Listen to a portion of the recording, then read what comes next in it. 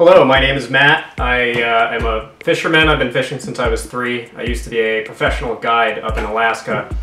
And outside of fishing, my main hobby is thrift shopping for clothes and housewares and everything that a person needs. And I feel like I've gotten pretty good at it, and I feel like uh, the middle of that Venn diagram between fishing and thrifting is kind of an unexplored territory. And in my opinion, from my experience as a guide and fishing, fishing is an industry um, that is full of gouge price equipment and uh, most of the stuff, especially the top dollar stuff, um, just suffers pretty bad from the law of diminishing returns. Um, you don't need that much to go fishing, and if you get good at thrifting, you can find a lot of the top shelf stuff that you would buy um, for a fishing trip anyway at you know high gouge prices. The disclaimer being you can't get any actual fishing tackle at a thrift store. You can, but usually they're rods that are rusted out or missing guides or just in terrible, terrible condition. I don't know why that is. Just nobody donates fishing rods that aren't already destroyed. So anyway, I just uh, the past three days I had like an awesome thrifting spree, uh, thrifts and garage sales and stuff, and I got a ton of stuff. Um, that I, I want to show to you as an example of, of uh, the kind of stuff that you can find. So, first item is um, this backpack. This is a, uh, a Speedo Teamster backpack, and uh, the backpack I was using for fishing before was uh, the same backpack I had in middle school, and it was all cruddy and beat up.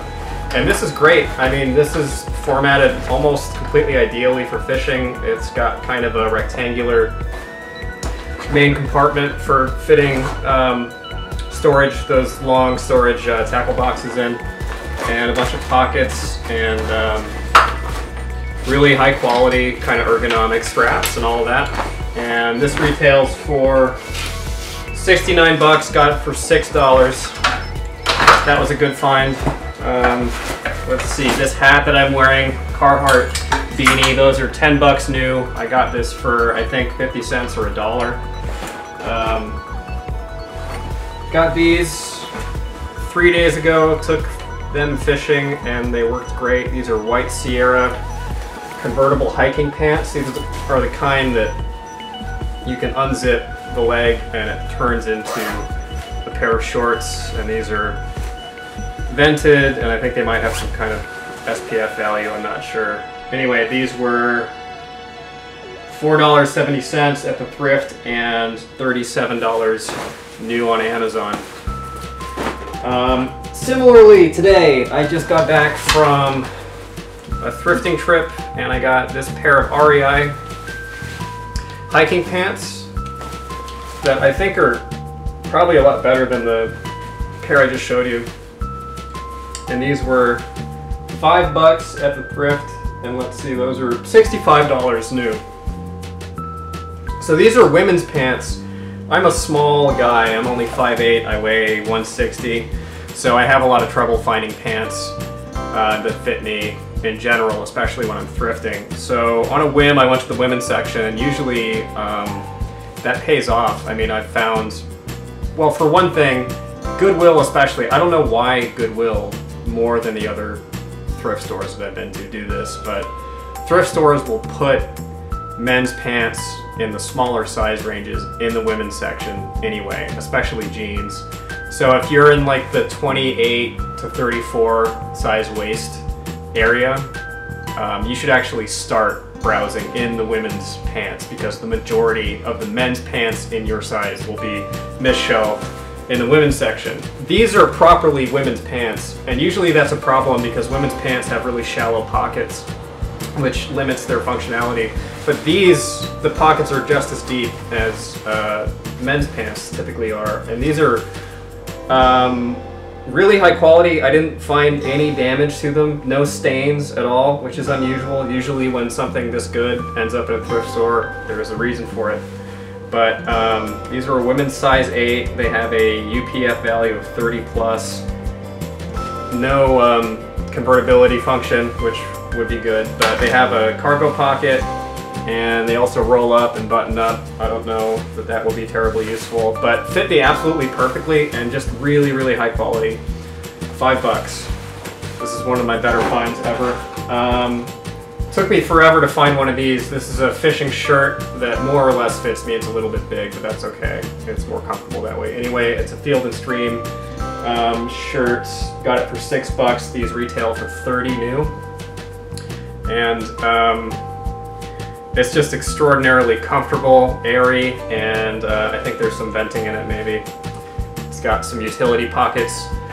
Um, these are really good for fly fishing, especially for me because I'm a total minimalist when it comes to fly fishing gear. Um, I carry my flies in these little dollar store canisters. I don't use the big fly boxes. I think they're pointless and I think that they actually damage your flies. They rust the hooks, especially the foam ones. And when you put the flies in to the foam, it ends up smashing down all the material on the bottom of the fly. So if you're fishing woolly buggers or anything like that, or dry flies, it can end up messing up the fly. So those are better in my opinion. And um, I'll just carry a little spool of tippet and some clippers or whatever. And these shirts are more than adequate in terms of storage to to handle all that. Six bucks, good find. Um, I got this cornball ass uh, Hawaiian shirt on a whim just because it fit me and I kind of always secretly wanted one. I couldn't find that online. I have no idea how much that retails for.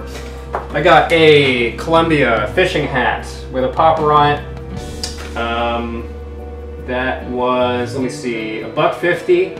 Got it for a buck 50 at the thrift and these retail for 25 bucks. Not bad. Similarly, I got um, this hat, which is a uh, Kryptek, Kryptek Highlander hat that has some super advanced NASA technology venting, quick wick, quick cool, quick dry, whatever. I don't know what DSC stands for, but it's got an American flag on the side. It's got this weird uh, high-tech Velcro, and it fits my head well, which is uh, unusual because I have a giant head. Because I'm so smart. And uh, good hat. This is a not typically my style, but this is a really uh, clearly high quality fishing hat. Take a bass fishing or something. Um, okay, I got this book for a buck today. The Angler's Bible, California Fishing. I live in San Diego. This is very relevant. Uh, this was a dollar and cover price is 21 bucks. Got this a couple days ago at a different thrift store for 50 cents. Saltwater fishing in California. Um, just full of good info. 15 bucks new. And my two grail pieces, my two absolute best finds in terms of stuff I found for fishing at a thrift store. This hoodie, uh, Alaska Ship Supply, Dutch Harbor, um, that's not the relevant part. The relevant part is who made it. This is a Grundens hoodie, and anybody that knows fishing, commercial fishing, or fishing in the Northwest um, is familiar with Grundens. They make the full body rain slickers that most commercial fishermen wear that are just uh, absolutely invincible to the elements. And um, it's a heavy, heavy duty uh, hoodie, extremely warm, extremely comfortable, fits me perfectly. It just has a really great texture on the inside, really fine. And it has this internal zipper pocket, which is I think for keeping your cell phone in or something. I don't know exactly what that is, but just an absolutely ideal, perfect fishing hoodie. Got it for five bucks. This, uh, I don't know exactly what make and model this hoodie is, but most of the Grundens hoodies online are 55 bucks new. So this was a, a total win. And um, I got these two days ago. Admittedly, slightly cruddy, used. Uh, the treads are a little worn down. But these are, let me see if I can find, right, these are the Salomon Men's XA Pro GTX hiking boot. So the equivalent model in hiking or, or shoes, they have a trail running shoe in this line that is apparently one of the hallmark uh, models of trail running shoe. I don't know anything about trail running, but this is the um, the, the high top hiking boot version um, that I got for six bucks, and they don't sell these anymore. But the hiking shoe retails for 180 bucks in this size, so I'm assuming that it was at least that price or more. Um, don't have any insoles in them. I'm gonna have to clean them up and put new insoles in them, but um, total steal fit me like a glove. And previously I was uh, doing all my fishing in an old pair of sneakers that just had no traction on the sole at all, and I was slipping around on the rocks and stuff. So this is to be a total upgrade.